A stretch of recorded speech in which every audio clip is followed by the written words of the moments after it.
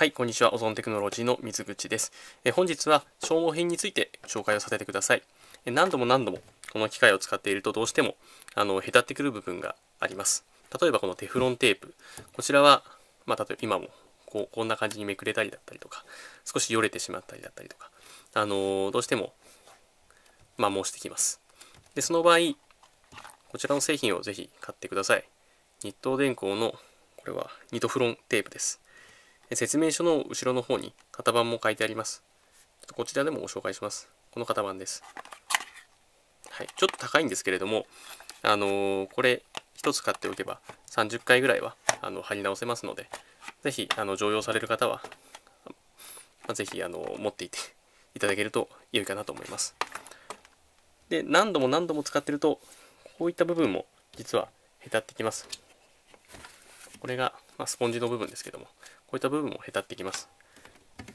またこのクッションのゴムですね。ここもへたってきます。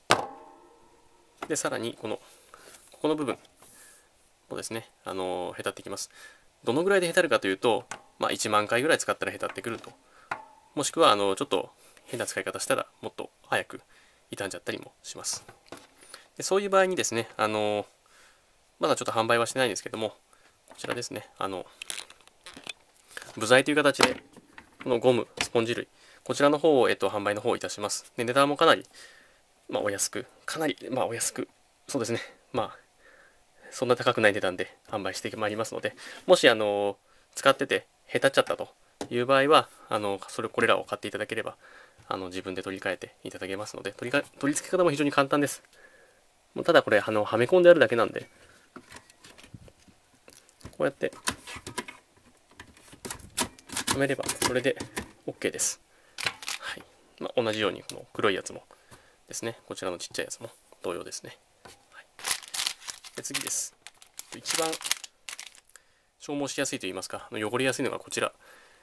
フィルターだと思います。こちらも、えっと、Amazon で販売します。まあ、10個でちょっと高いんですけども、1000円ぐらいで販売しようかなというふうに思ってます。